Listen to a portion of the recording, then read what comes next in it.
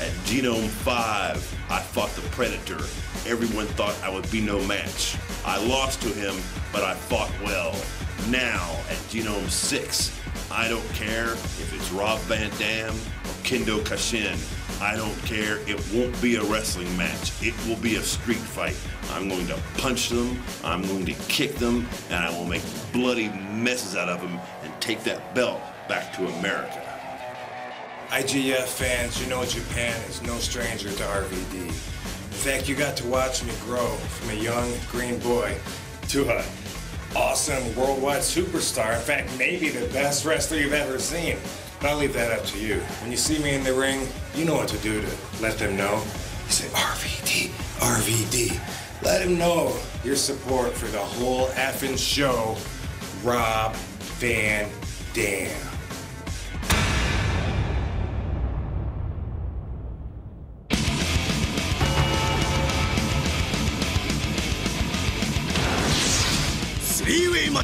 ネクロブッチャー VS 剣道家臣 VS ロブ・バンダム。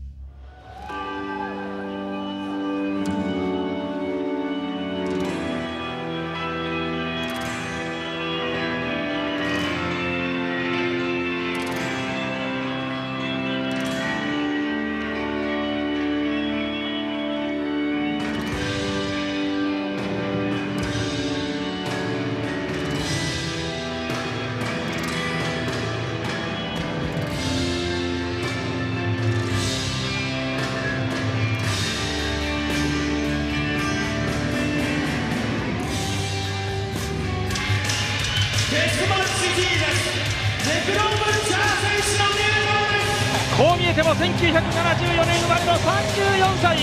デスマッチの星のもとに生まれデスマッチに育てられデスマッチを生きるデスマッチジーザスネクローブッチャー。レッドバウトとの呼び声も高かった前回のザ・プレデター戦に引き続いてのこのゲノム参戦。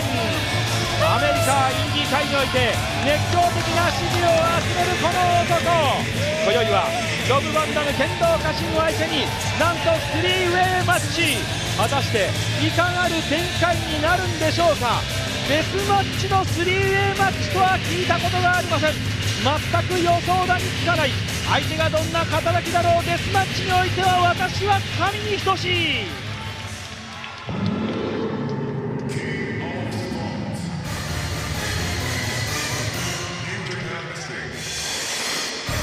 あっとこのテーマ曲は某団体のあの休憩前の曲に似ていますがさあ剣道家臣今日はいつものスカイウォークではなく違うテーマ曲をアレンジしての入場ということになるんでしょうか。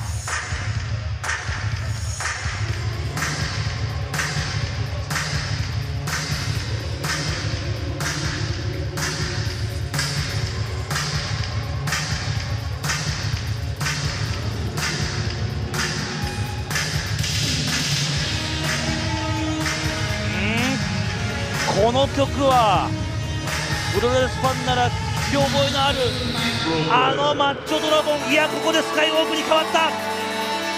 この辺りは何かのメッセージなんでしょうか。剣道家臣がこのベルトどこのベルトか分かりませんがニュージャパンレスリングと書かれたこのベルトを持って勝手にこの試合をタイトルマッチと宣言しました。そしてそれを奪いに来たのが現在リング上のネグロブッチャーということでまた家臣が一体このテーマ曲そしてこのニュージャパンレスリングというベルトを持って何か謎かけのような感じもしますが IGF2 度目の参戦という形になります。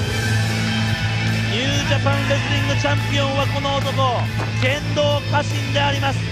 匿名希望の問題児今リングインです。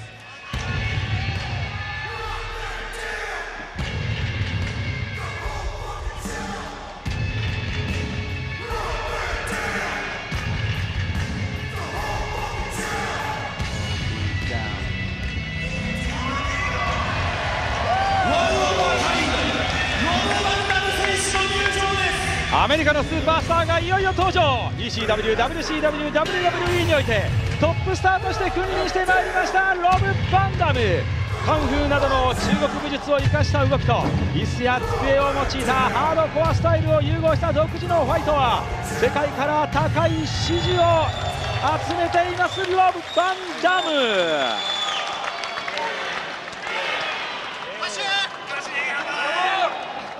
ゲノムスリーウェイマッチを行いますゲノムスリーウェイマッチでは最後に勝ち残った1人だけが勝者となります195センチ105キロネクロゲノム初のスリーウェイマッチデスマッチジーダスネクロブッチャーコールされました180センチ90キロ剣道家臣。匿名希望の問題児剣道家臣が2度目の IGF 参戦106キロローバー！アメリカ直輸入ワンオブカインドロブ・バンダムさあスリーウェイマッチですね、はい、IGF 初のスリーウェイマッチという形になります、はい、ルールの方は勝ち残ったものが最後勝者ということで、えー、まず3人のうち1人が消えてそして今度はシングルマッチの形になるとい。う形になりますね、はい、そしてですね実はですね、私極意情報を入手したんですが、この剣道家臣この 3A マッチは契約書を交わしてるんですよ、はい、それは何かと言いますと、はい、どうやらこのトリプル T のお二人の写メが気になって仕方がないらしい。もし写メを撮ってるシーンを目撃したら、取り上げるぞというのを契約書に書き込んでる。ね。カシン選手っていうのは会場すべてが全部見えてて、い、ろんな自分の生かし方分かってる選手ですからこの放送で見てますよ。怖いですよ。気をつけてくださいよ。取りまくっちゃいますよ。おっとアリスさんそんな中でも写メを取りまくるという。はいやっていただきましょう。これねちょっと駆け引きが難しくなってきますが。そうですね。さあネクロブッチャー剣道家臣そしてロブワンダムということで。なんか三者三様の取引っていうかね、え。ー、ありますよねこれさあ宮戸さん この辺りはちょっと UWF とは対局のまあ試合になってくると思うんですけども。宮戸さんの表情がかなり苦しそうなんですけど、大丈夫いやいやまあけどあの難しいルールっていうか難しいルールですね。あここでレフリーの技業を繰り返していくのがネクロブッチャー。話がまずレフリーを倒そうということか、この辺りがですねネクロブッチャーまた何を考えてるかわからないなという感じが自分もわからないという もう俺は何をやっていいかわからないってことじゃないですか。このネクロブッチャーがデスマッチスタイルそしてこの剣道家臣が、はい、まあ、レスリングベースのプロレス、はい、そしてロブ・バンダムがアメリカンプロレスということで、はい、3人とも全く毛色の違う選手なんですよね。そうですよね。さあまずはカシンがエスケープ。そのうちにカシンに気を生かしたところで今ヘッドロック。ネクロブッチャーがまずはヘッドロックでさあ三者。戦うという形になっております。さあ場外で傍観しているのがケンドー・カシンさあここはロブ・ワンダムが得意の綺麗に決まりました。この辺りはさすがロブ・ワンダムとあ入った入った入ったうまく肩幅に行くのが剣道家臣やっぱり剣道家臣はこういうところを狙ってますよね。そしてネクロブッチャーこの辺りはですね2人とも何をしてかすか分からない。ちょっとロブ・ワンダムが一番損をしてしまうかもしれない。ちょっとあのいろんなタイプの男性がいるんでアリスさんに聞きたいんですが、はい、好みはどれでしょう？さあエルボスマッチ。得意のエルボスマッチ今度は剣道家臣が。ロブ・ワンダムロブ・ワンダムと剣道家臣の絡み。こちらもレスマニアにとってはたまらない絡み。靴で選ぶ。さあここはエルボースマッシュ連発から。アリスさんは靴で剣道ロブ・ワンダム対角線に行って。おっと。ぐるっと回って。得意のここはうまい。ローリングサンダーを今度はネクロブッチャーがカウントを今度はゲームをかけネクロここはロックいくいやいやいやいや目まぐるしいなかなかネクロブッチャーが立ち上がらない今立ち上がるやっぱりでもネクロブッチャーはこういう展開は苦手じゃないですか、いやいやいや次あの ECW とかも出てますからそうですか。3マッチはいっぱいやってますから。そうですか、はい、やっぱり血を出さないとっていうことじゃないんですか、えー、逆にデスマッチで 3way マッチっていうのをたくさんやってると思いますから。そうですか。という意味では各選手とも、ええ、本当に 3way マッチはいろんな形で経験してますんで。なるほど。ただねこの普通 3way マッチだと、はい。えー、1人が2人を倒して負けた関係ない選手もその段階で負けというルールもあるんですがこれ勝ち残りなんでね。そうですね。なんとかいい形で作戦を考えて残らなければいけないという形になってきます。すいません。なんか心なしか宮戸さん言葉がないような、えー、いや今ね、はい、ルールを必死で把握して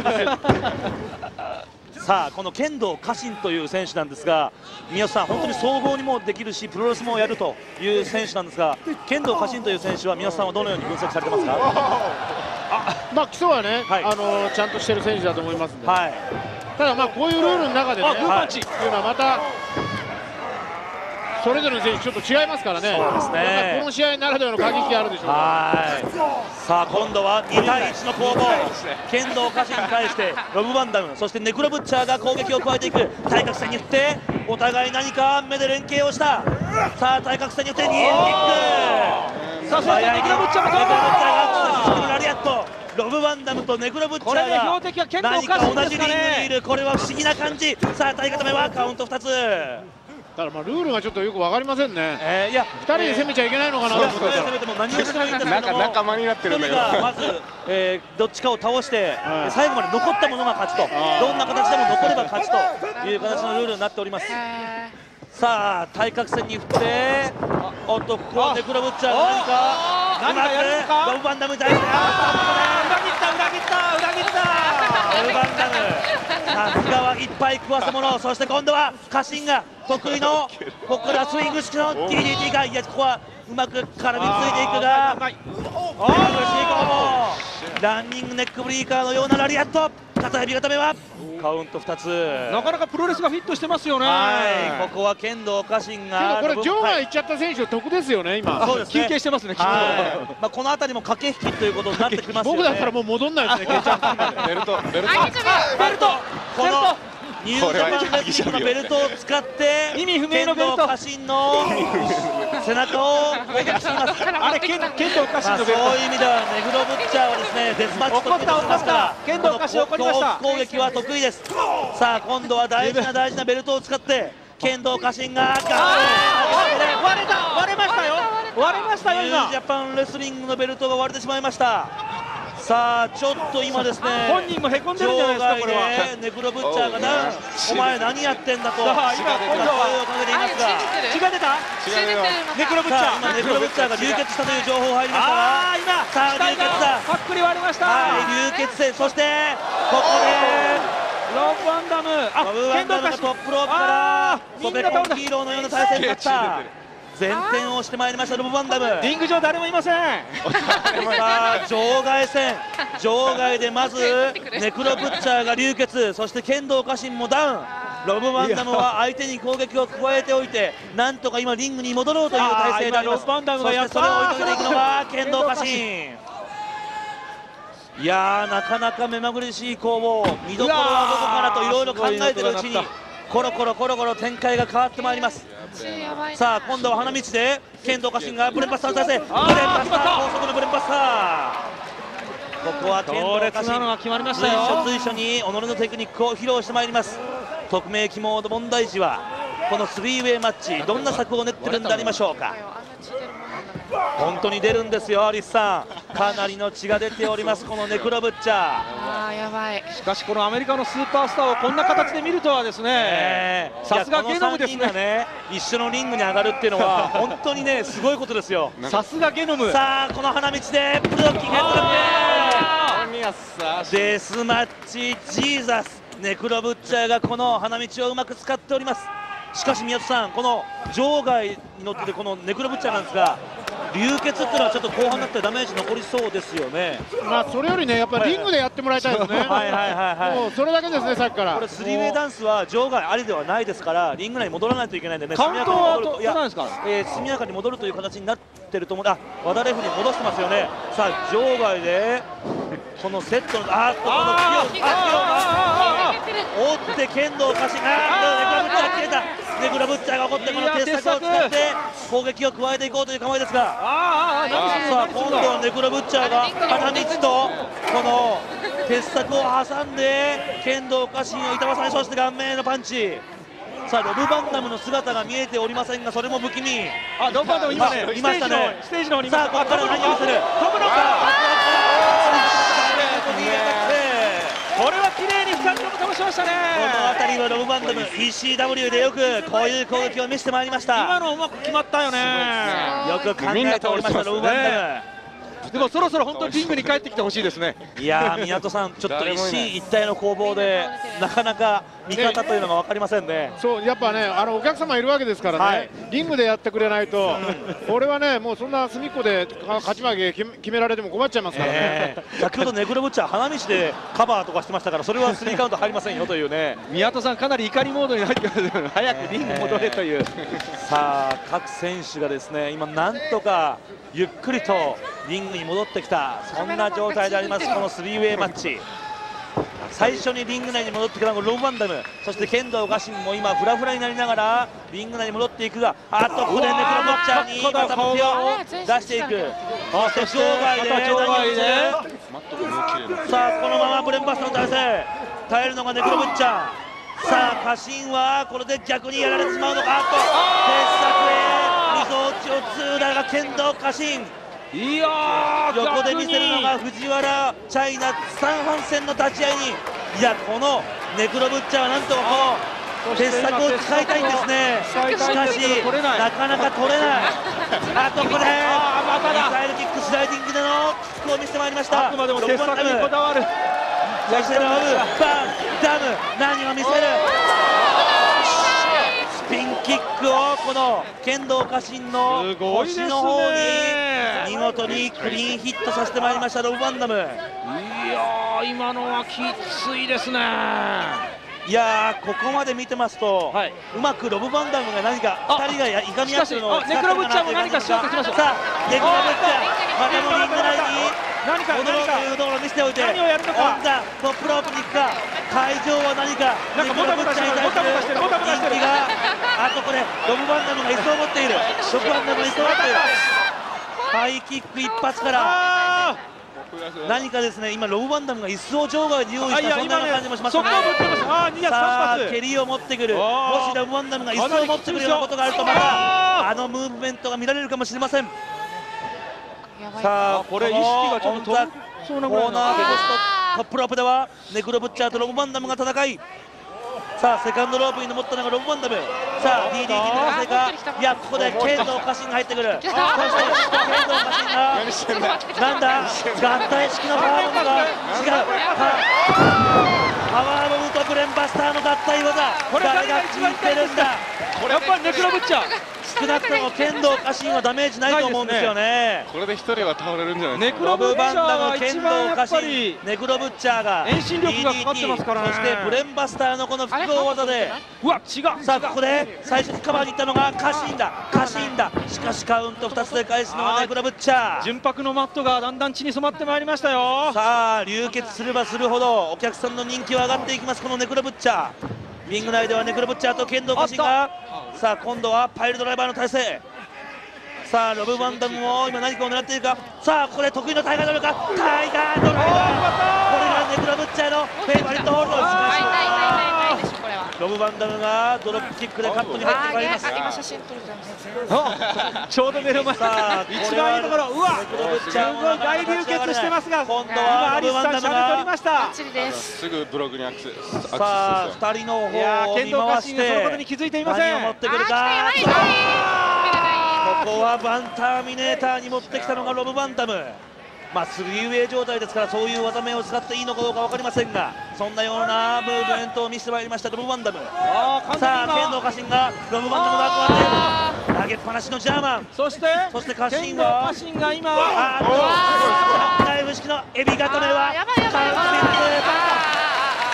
璧さあここは剣道家臣がああ来た。ネクロブッチャー選手ジャックナイフ式のエビ固めでネクロブッチャーからスリーカウントということで、えーネクロブッチャーが退場で剣道家臣とロブ・ワンダムのシングルマッチという形になりました。このスリーウェイマッチ。今椅子をですねリング内に持って上がりましたよ。はい。何か考えて椅子があるますねネクロ。とロブ・ワンダム何か見せますよ。さあこれは危ない。これは危ない。トップロープから。いや違う。これはカウント2つ放送席の前にはネクロブッチャーが出てまいりました。写メチャンス。ねリングの下に降りてまいりましたが、さあリング内ではケンドー・カシンとネクロブッチャーが、あけケンドー・カシンとロブ・ヴァン・ダムがそうですね。今リング内で攻防を繰り広げておりますが。さんが目の前のネクロブッチャーに思いっきりいい角度で写メを取あれを見せるのロブ・ヴァン・ダム。す決める得意のかというポーズですよ。さあファイブスターフロッグスプラッシュかしかしここはレフェリーに蹴るようにおっとこれはうまくサードロープを使ってロブ・バンダムの分析を剣道家臣よく考えてますね。今レフェリーが転んだ瞬間振動ですよね。さあここは剣道家臣計算得今度は家臣得意の飛びつき式の腕ひしぎ逆十字ああさあここでサイモン猪木がサイモン猪木が入ってきた。サイモンが入りました入りました。さあサイモン猪木がレフェリーに何か抗議をしていますが。あ決まってる決まってる。さあ決まっていますが。いや皆さんちょっとこれは複雑な展開になってきましたね。今タップしてましあたね。ここで親友と言われているその二人親友のサイモンとその剣道家臣が何かもういがみ合いいがみ合いあーっとそのロンバンダムが今一層ロンバンダムが。怖いだろさあ椅子を持ってバンターミネーターこれはサイモン猪木が今巻き込まれてしまいましそた。して今度は？え？え？え？何すんの？やばい。サイモン猪木とサイモン猪木とこれはケンドー・カシン。カシンに対して、さあボディスラムで叩きつけるまさかまさか、えー？あれを見せるのか。サイモン大丈夫ですファイブかスタースプラッシュか。ファイブスターフロックスプラッシュを持ってくるのか。このファイブスターブロッグスプラッシュしかしこれはサイモン猪木たちが食らった形剣道家臣はうまく体を入れ替えた。今完全に今ね肘いや膝も入りました。これちょっと剣道家臣よく考えてるなという感じしますね。ちょっと巻き込まれたのがサイモンシンさん猪大喜び。木。そして今度は、笑い事じゃないあっと家臣式のタランチュラ、家臣式のタランチュラです。あー決まった。家臣式のタランチュラからうまく丸め込んでいく。得意のムーブメントは剣道家臣有利だがカバーに行ってカウント2つ家臣式のタランチュラからのカウント。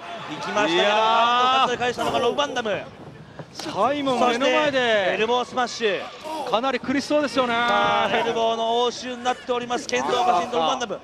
さあここで足をあっと側頭部へのニールキックねアリセケルのような体勢になったこのロブワンダムどこから足が飛んでくるかわからないさあ今度はロブワンダムがローサンダーを見せてまいりました。これも得意のムーブメントカウント。カウント3いやスリーウェイダンス最後はロブ・バンダムが剣道家臣を破ってこのスリーウェイダンス見事勝利を収めました。ロブ・バンダムです。身体能力高いですよね。高いですね。本当にワン・オブ・ザ・カインド。唯一無二の存在です。このロブ・バンダムいやー宮戸さん、はい。ちょっと目まぐるしい展開になっていろいろお話聞けなかったんですけども、え振り返ってみていかがですか？まあやっぱルールがね、どっちにしても最後までよく分かりませんでしたね、だからそういう意味でね、レフェリーも戸惑っちゃってたっていうのを感じましたしね、まあだからあと、まあ、ルールはともかくとして、ちょっと場外のね、乱闘が多かったのが残念でしたね。えー最後にこのロブ・バンダムはご覧になっていかがですか？いや、あのーまあ、良かったと思いますよ、ただ、ね、そういったも良さもね、みちょっと十分に見れなかった気がして、ちょっとそこは気になりました。さあこのロブ・バンダム次回はぜひねシングルでね見たいですよね。そうですね。はい。ちょうどネクロブッチャがまだ放送席の前でうずくまっています。なんかね家臣がなんかベルトを持って ロブ・バンダムに対して何かあっとこのニュージャパンレスリングのベルトこれはお前のものだということで勝手にタイトルマッチにするんでありましょうか。置いてくれよと。これは何か家臣からのメッセージ何ですかこれは？これはですね、ええ。ニュージャパンレスリングということで、えーレスリングという名前が書いてあるベルトを剣道家臣が持ってきてるんですよね、はいはい。それを今管し轄した。てる団体は全く不明なんですけども。それを今ロブラン・バンダムが戸惑ってますよ、ええ。受け取るかどうか。さあ今これを受け取ったら家臣と同盟を組むとかそういうことじゃないですか？いやいやいやこのタベルトあの試合をタイトルマッチにすると家臣が宣言してたんですよね。だから勝ったからこれロブ・バンダムのものだよということなんですが。さあいらないと